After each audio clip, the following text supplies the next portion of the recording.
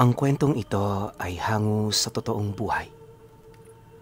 Karanasan ito ni Soronyo. Taong 1974. Maria Sikihor.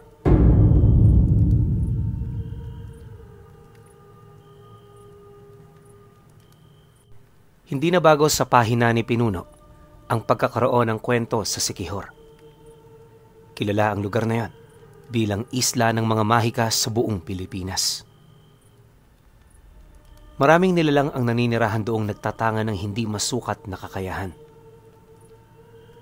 Hindi na rin mabilang ang mga antingerong nagbuwis ng buhay para sa mga karunungang hinahangad nilang mataglay. Kabilang si Soronyo sa isang grupo ng mga manlalakbay na nagdesisyong tunguhin ang isla. Sa ilang taon kasi nilang pananaliksik, napag-alaman nilang tahanan din ng mga diwata ang lugar na yon. May iilang mga bundok noon sa Sikihor ang pinaniniwalaan nilang banal na lupa para sa mga mutya. Dahil sa ganoong kaalaman, nagdesisyon silang dumayo sa lugar. Malayo man ang pinanggalingan, hindi yun naging mahirap para sa kanila. Ang ilan niya kasing mga kapatid sa paniniwala, hindi rin maipagkakaila ang estado sa buhay. Karamihan sa mga ito, yumaman dahil sa mga pampaswerte nilang nakuha sa mga lugar na minsan na nilang napuntahan.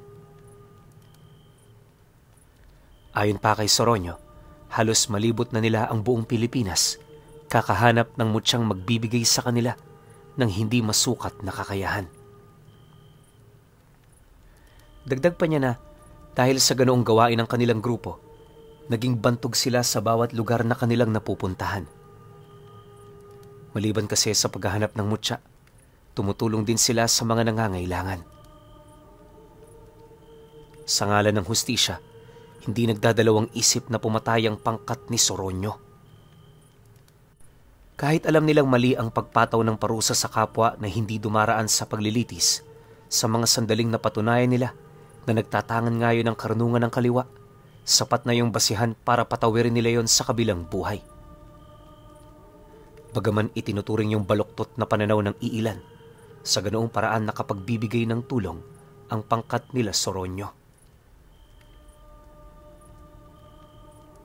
Sa mga panahong ito, hindi may pagkakailang malakas na nga ang kanilang grupo. Kahit binubuo lang sila ng pitong tao, aminado siyang nagtatangan sila ng iilan sa pinakamalalakas na mutya. Ang pinuno nila noong nagngangalang muring, tangan-tangan ang mutya ng dagat at buhawi. Siya naman noon, nagtataglay ng pangil ng kidlat, kaakibat ng mutya ng ahas at ngipin ng kalabaw. Yung iba naman, tangan din ng iba pang mga mutya, kagaya ng saging, anahaw, gabi, at iba pa. May basbas din sila ng mga diwata, kaya sa bawat lugar na napupuntahan nila, daladala nila ang kanilang pagkalalaki. Magmula rin noong nabuo ang kanilang grupo, wala pang kahit isang nilalang ang nagbigay ng takot sa kanilang pangkat. Hindi rin sila nakaranas ng pagkatalo. Kaya nung nagdesisyon silang pupunta sila sa isla ng Sikihor, hindi nila naisip na malalagay sa panganib ang kanilang pangkat. Ilang araw bago sumapit ang kanilang paglalakbay, naging abala naman ang bawat isa sa paghahanda. Upang makasiguro ring makakaalis sila doon anumang oras, pinili nilang bumili na lamang ng bangka. Matapos naman nila itong gawin, Dali-dali naman silang naglakbay patungo sa kaharap na pantala ng isla upang maghanap ng taong gagabay sa paglalayag nila. Yun kasi ang naisip nila noong paraan, nang sa gayoy hindi sila magulat sa kanilang madadatnan. Pagdating naman nila sa pantala na kanilang nais puntahan, doon nila nakilala ang isang taong pabalik-balik na sa isla. Hindi na mabilang ang naging karanasan nito sa lugar na yon kung kaya't nang makausap ito ng kanilang pinuno, hindi na rin yun nagdalawang isip pa na yon ang isama. Matapos naman nilang mapagkasunduan ng ibabayad dito, agad naman silang umalis ng pantalan. Sa kanilang paglalayag, may mga detalyeng na ibahagi sa kanila ang lalaking yon ukol sa mga panganib na maaari nila roong makaharap. Ang kaso lang, dahil sa pagiging kampante ng kanilang grupo, hindi nila ito binigyan ng pansin. Si Soronyo lang din ang maiging nakinig sa inilahad na kwento ng taong yon, kung kaya tanging siya lamang ang nakakaalam ng kabuuan nito. Base sa salaysay ng kanilang isinama, merong isang babaylan ang kasalukuyang namamahala sa lahat ng puwersa ng kaliwa na nanananahan sa islang yon. Dahil sa impluensya nito, walang kahit na sinong nasa kanan ang may kakayahang sumuway dito. Hindi na rin mabilang ang mga antingerong pinaslang nito na minsang naging bahagi ng pag-aaklas upang mapatalsik ang kasalukuyan nitong pamumuno. Nabanggit din ng taong isinama nila ang tungkol sa tangan nitong mutya na tinatawag nitong puso ng jablo ng buwan. Matagal na yun nakipag-isa sa babaylan. Kaya na may halos hindi na masukat ang pinag-isa nilang kapangyarihan. Matapos naman yung marinig ni Soronyo, nagdulot naman yon ng matinding pag-aalala para sa kanya. Habang pinag-iisipan niya ang mga naging kwento nito, napansin naman niya noong iba ang pinag-uusapan ng kanyang mga kasama. Hindi naglaon. Pagdating naman nila sa laot, doon na nila unti-unting nasisilayan ang anino ng isla. Dala naman ang kupad ng bangkang sinasakyan nila. Inabot sila ng halos kalahating araw bago marating ang lugar na yon. Mabuti na lang, walang malakas na alon ang sumalubong kaya kahit papaano medyo mabilis ang pag-usad ng sasakyan. Pagdating naman nila sa pangpang ng isla, natao naman noong walang katao-tao sa paligid dahil sa medyo malalim na ang gabi. Pagdaong naman ng bangka nila, agad naman nila yung pinagtulungang buhatin patungo sa isang liblib na parte ng dalampasigan. Nilagyan din nila yon ng mga dahon at iilang tipak ng kahoy upang masigurong walang makakakita rito. Matapos naman nila yung gawin, dali-dali naman silang pumanhig sa pinakamalapit na baryo. Ang kaso lang, hindi pa man sila nakakalayo sa dalampasigan, napansin naman nila ang pag-aalangan ng taong isinama nila. Maya-maya pa, bigla naman yung tumigil sa paglalakad, sabay wika sa kanila nang. Kayo na lang siguro ang pumunta doon. Pasensya na pero nagbago ng isip ko eh. Akala ko may lakas ng loob akong sumama sa inyo. Nagkamali pala ako. Pagkalahad naman ng lalaki na takot na takot. Agad naman itong hiningi ang kanyang parte. Nang marinig naman yon ng kanilang pinuno, di naman niya tinutulan ang hinihingi nitong pabor. Gawa ng kahit papaano, nakatulong din yon sa kanila.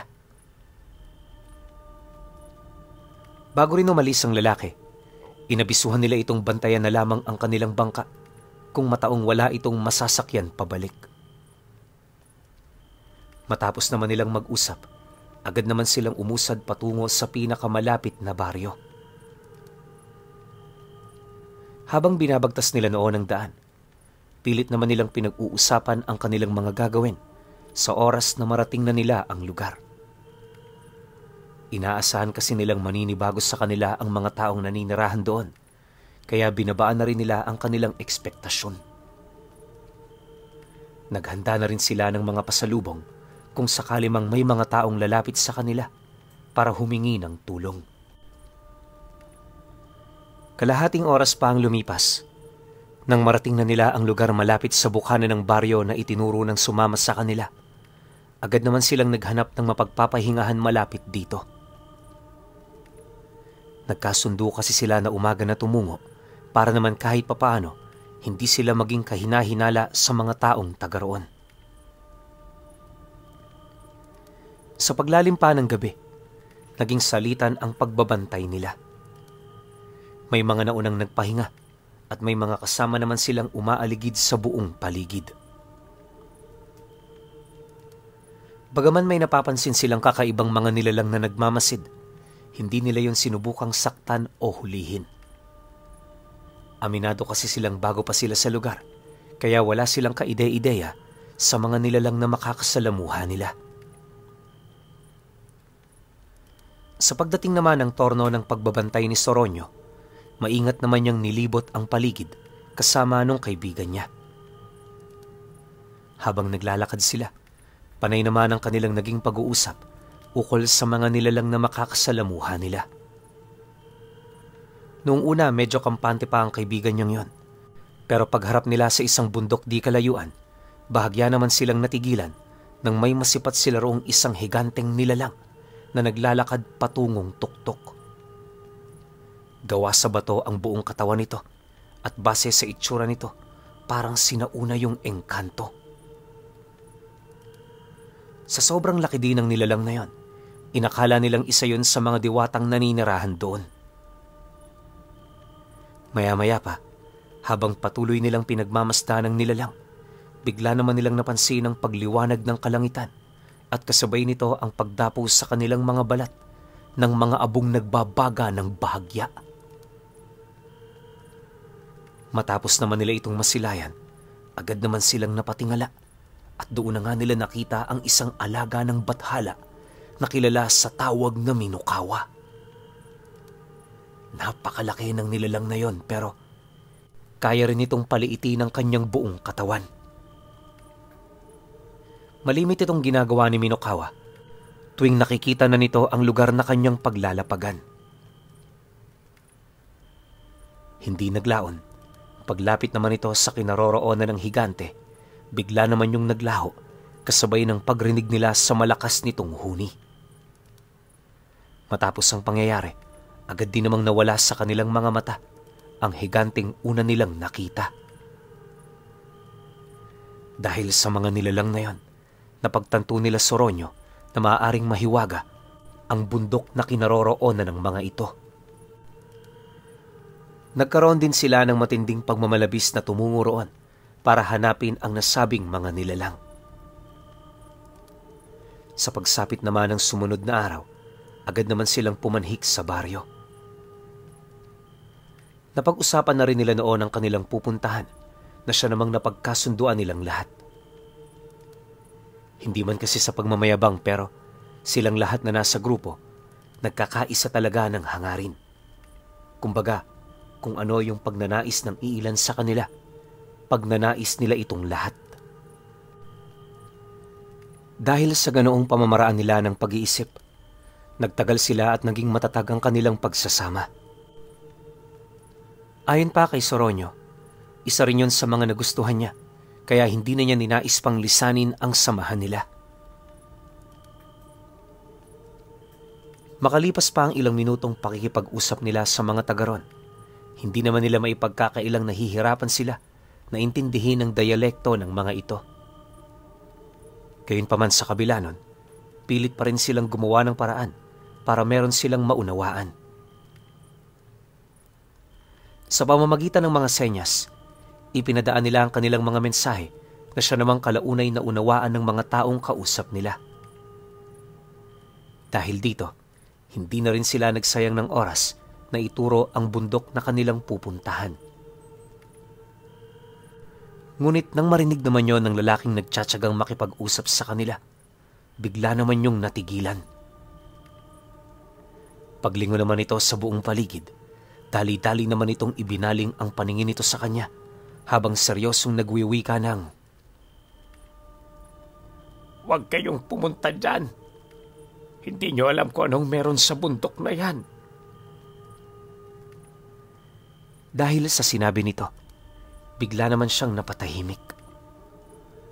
Gulat na gulat noon si Soronyo sa kadahilan ng napakalayo nila sa isla ng Sikihor kaya napaka-imposibleng magamit nito ang dialektong kanilang kinamulatan.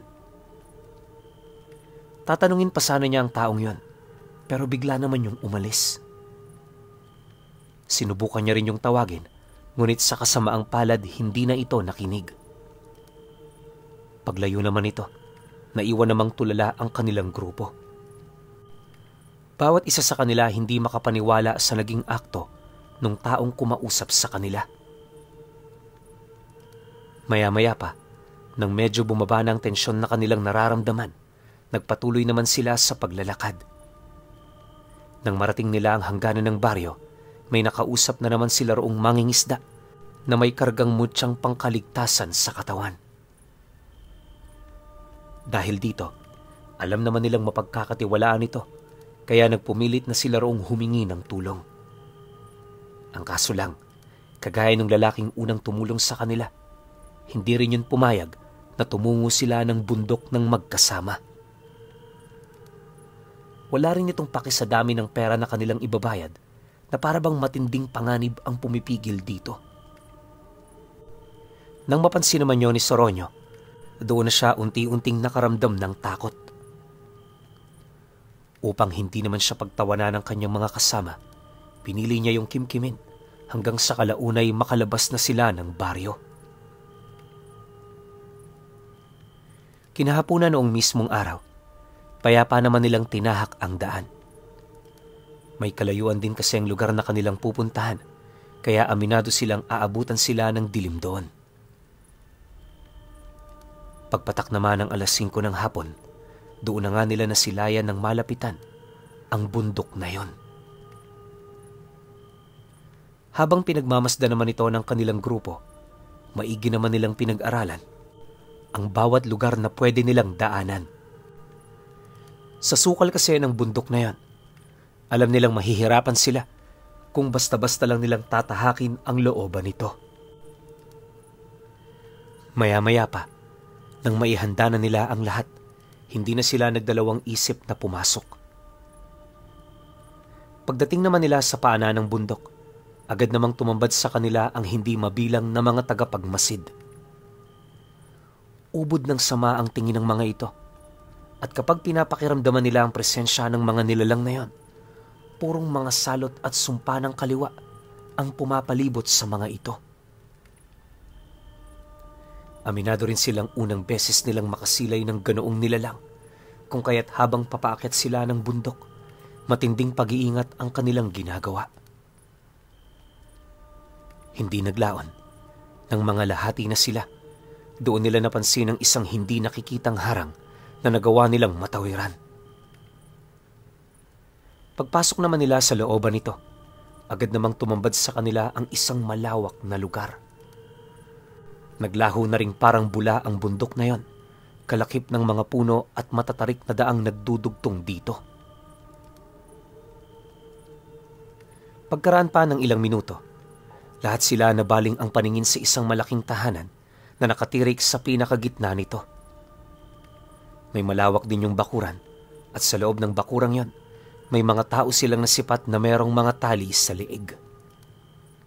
Nasa humigit dalawampu ang bilang ng mga ito at bawat minuto sabay-sabay yung umaatungal na parabang nakakaramdam yon ng matinding sakit sa kanilang mga katawan.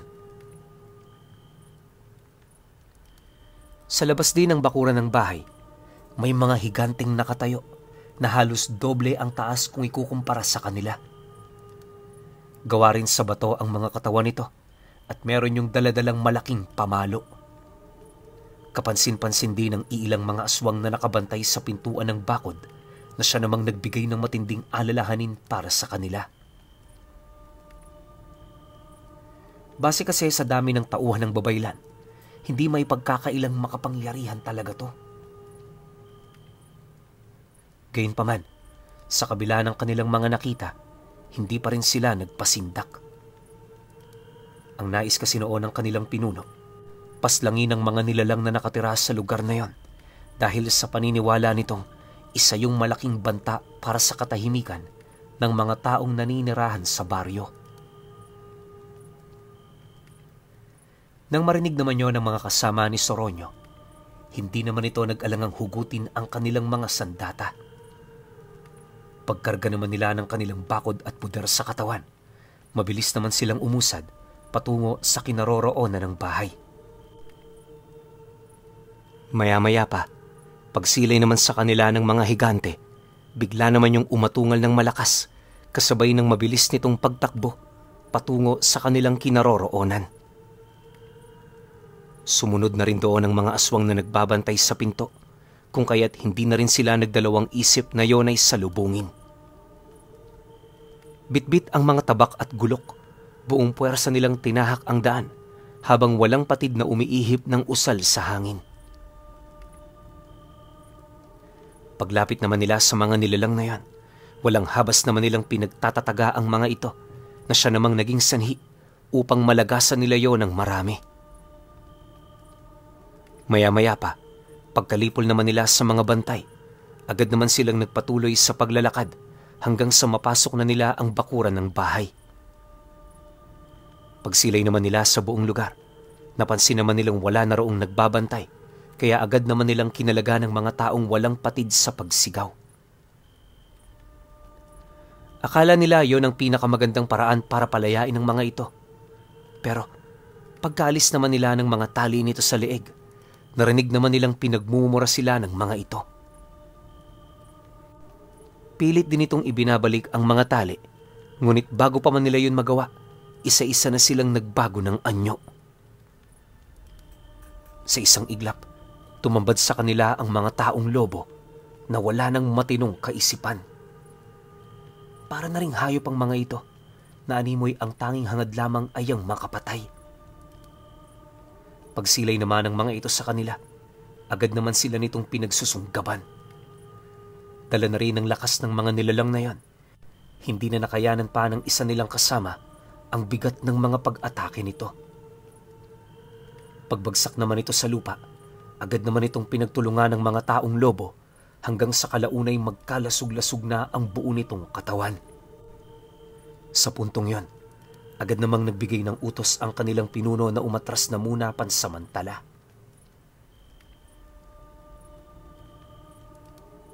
Paglayo naman nila rito ng bahagya, napansin naman nila ang mga ito na hindi sumunod. Kumalma rin yon na parabang may narinig itong utos mula sa taong namamahala sa kanila. Hindi naglaon. Doon na nila dahan-dahang nasipat ang pagbukas ng pintuan ng bahay. Pagsilay naman nila sa looban nito, nakita nila ang isang matandang lalaki na may daladalang latigo. Pag-apak naman ito sa lupa, agad namang lumapag sa itaas ng bahay ang mismong Minokawa. Nagsimula na rin silang makarinig ng mga dagundong sa lupa hanggang sa masipat nila ang higanting minsang nakita nila Soronyo sa bundok. Kagaya ni Minokawa, nasa ilalim na rin yon ng kapangyarihan ng matanda.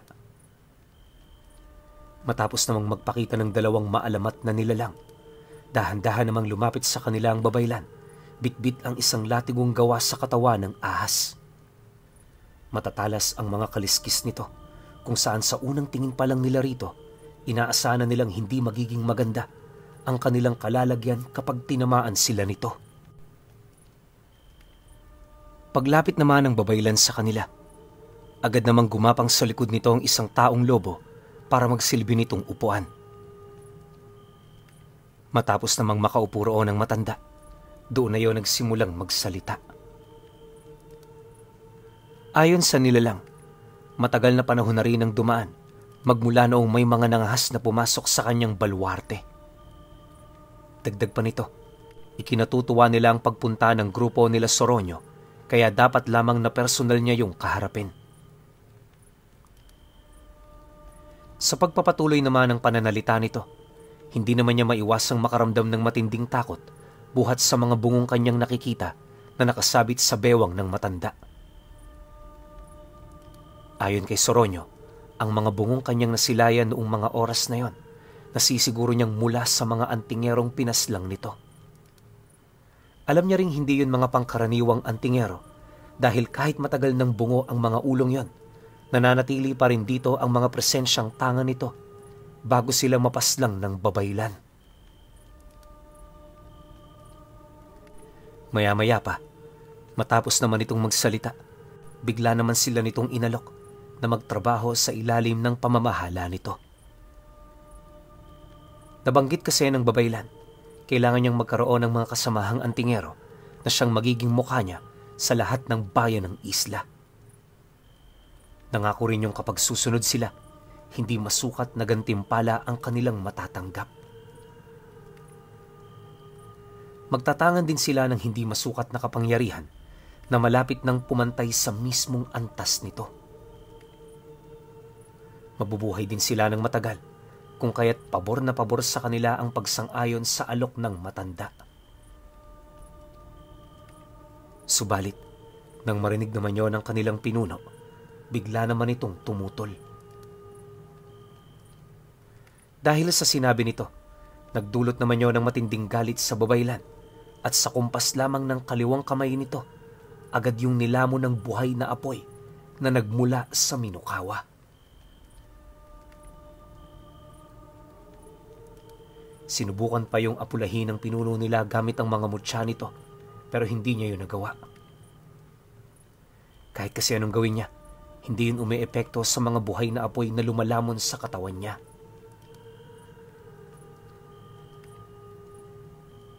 Segundo lang din ang naging pagitan nang bumulag tayon sa lupa at kalaunay nawala ng buhay. Dahil sa pagkamatay ng namumuno sa kanilang grupo, nagdulot naman ito ng matinding pagkasindak sa mga natitira niyang kasama. May iilang nagdesisyong lumaban hanggang kamatayan pero may mangilan-ngilan ding ninais na unahing iligtas ang kanilang mga buhay. Sa isang iglap, tuluyan na nga silang nagkawatak-watak. Ayaw naman sanang tumakas ni Soryono noong mga oras na yon. Ang kaso lang, yung humarap sa babaylan, iilan na lang. Hindi naman sa duwag siya pero alam niya kasing wala sila roong pag-asang manalo. Pagkaraan pa ng ilang minuto, kagaya na nangyari sa kanilang pinuno, nilamon din ng apoy ang mga kasamahan niyang yon. Hindi pa nakontento ang matanda. Hinagisa niya pa yon ng malaking tipak ng bato na hawak-hawak naman ng higanting nakatayo sa likod ng bahay nito. Ang mga kasamahan naman niyang walang patid na tumatakbo papalayo. Pilit naman yung hinabol ng mga taong lobo para pagtulungan. Sa pagbagtas naman ni Soronyo ng daan, sadyang wala na rin siyang kaide-ideya kung papaano niya yun matatakasan. Unti-unti na rin niyang tinatanggap ang magiging kahihinat na ng buhay niya hanggang sa bigla na lamang may nagpakitang lagusan sa kanyang harapan. Paglabas naman doon ng taong may likha nito, tumambad sa kanya yung taong sumama sa kanila na nanggaling pa sa pantalan. Dali-dali siya nitong sinenya sana pumasok na siyang agaran naman niyang ginawa. Pagkatapos naman nila sa kabila nitong bahagi, agad naman niyang nakita ang bangka nilang nasa dagat na. Dali-dali yung tinahak ng taong tumulong sa kanya at pagkasampa nila roon, walang pagdadalawang isip nilang nilisan ang lugar na yon. Ayon kay Soronyo, habang tinatahak nila ang daan, marami silang napapansing malalaking ahas sa ilalim ng karagatan. Nakita rin niya ang minukawang pumapaikot sa itaas ng isla na para bang hinahanap siya. Upang hindi naman siya nito makita, nagtago siya sa ilalim ng bangka. Hindi naglaon. Pagdating naman nila sa laot, doon na nagsimulang bumalik sa normal ang mga pangyayari. Minabuti na rin niyang lumabas kung saan nakita naman niya ang kanyang kasama na kasalukuyang nagmamaniobra ng bangka. Paglapit naman ito sa kanya, Agad naman itong inilahad ang dahilan kung bakit hindi yon sumama. Alam kasi nitong tatahakin nila ang daan patungong bundok, kaya nagdesisyon yung umiwas. Kung sakali kasing sumunod yun sa kanila, paniguradong hindi nito magagamit ang mutya nitong nakakapaglabas ng mga lagusan. Mahaharangan kasi yon ng matanda, dahilan para malipol sila nitong lahat. Nang marinig naman ni Soronyo ang tungkol dito, minabuti naman niyang manahimik na lang. Sa pagsapit ng sumunod na araw, nang makarating na sila sa pantalan, tila bang naging isang bangungot na lamang ang lahat ng nangyari sa kanila. Sa maniwala man kayo o hindi, lahat ng kargang dinala ni Soronyo sa isla ng Sikihor, napansin niyang patay na pagdating nila sa Karatig Isla. Magmula noon, naging palaisipan naman para sa kanya ang tungkol sa mga nangyari noong nakaharap nila. Yung babay lang nag-aalaga kay Minokawa.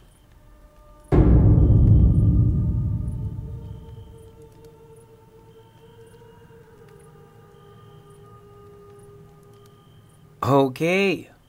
Um, opinion ko sa kwento. Alam nyo itong si Minokawa, talagang hindi ko siya magets eh. Kasi marami tayong kwento na, lalo na yung mga series natin, tapos yung bida natin, yung mga purong kanan, tinutulungan ni Minokawa. Pero sa puntong to, babaylan nyo ng kaliwa. Obvious naman, may mga alagad na aswang, mga engkantong itim, mga taong lobo, tapos pinapanigan pa ni Minokawa 'Di ba? So ako hindi ko lang magets talaga kung nasa ang side si Minokawa o parehas parehas na side kanan kaliwa rin siya pero kailangan pangibabawan mo yung lakas niya. Etong babayla na to, alam natin sobrang lakas nito. Kasi yung grupo nila sa Ronyo, napakalalakas na eh. Wala nang kinakatakutan eh. Pero nung pagdating dito sa babayla na to, wala, para lang silang mga alikabok na iniihipan. Ganong katindi to. So, hindi basta-bastang babaylan to para sa akin. Feeling ko, kinalugdan to ng mga anghel na siguro, anghel na may halong demonyo. Pwedeng ganun, di ba? O mga sobrang lalakas na demonyo. Kasi hindi ka basta-bastang makakasunog ng sobrang lakas na antingero kung wala kang taglay na matinding kapangyarihan din ng kaliwa. At the same time, may higante pa siyang mga kasama, lalong-lalo na si Minokawa na alam ko naman lahat sa inyo kilala kung sino yan. So masasabi ko sa kwento na to, sobrang swerte ni Soronyo. Siguro nilagay nilagay talaga ng Diyos sa kapalaran niya na maligtas doon para may ganito tayong klase ng kwento o para rin maipamulat tayo sa hindi natin nakikitang nangyayari sa mundo natin. Kaya yun, masasabi ko sa kwento ulit, nakakalungkot to at the same time sobrang hiwaga. Tsaka, yun pa, yung isa kong sinasabi kanina, nakakapang-isip kung kaninong side ba si Minukawa. Pero kayo, kung may opinion kayo sa kwentong ito, comment nyo lang sa baba. Yun lang. Hanggang sa susunod na kwento. Salamat.